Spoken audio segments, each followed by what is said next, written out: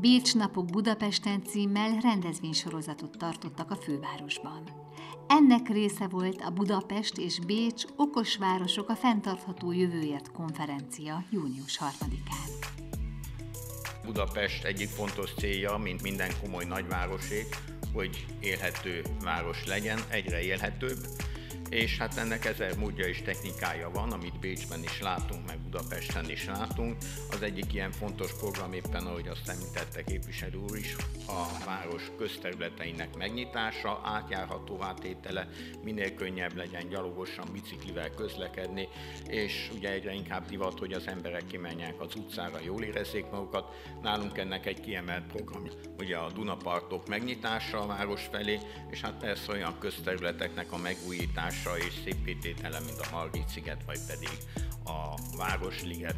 Nagyon sok a közös a két város között, nagyon sok volt a szervezeti hasonlóság, a történelmi hasonlóság, és ez nekünk egy perspektívát is jelent, mert hát sajnos a második világháború után Budapest lendülete egy kicsit megtört, és mi más politikai és gazdasági irányba is mentünk.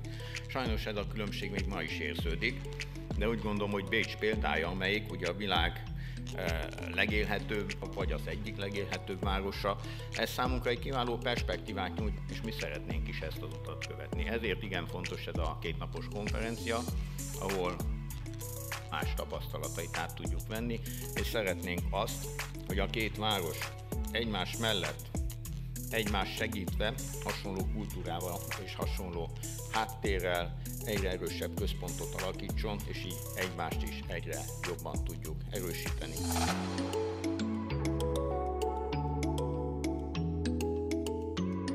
Konferencia és a workshopok aktuális témakörei az úgynevezett okos városok és azok a szociális kihívások, melyekkel minden nagyvárosnak szembe kell néznie. Pódiumbeszélgetéseket tartottak többek között a fenntartható mobilitásról, a Duna régió stratégiáról és a klímastratégiáról is.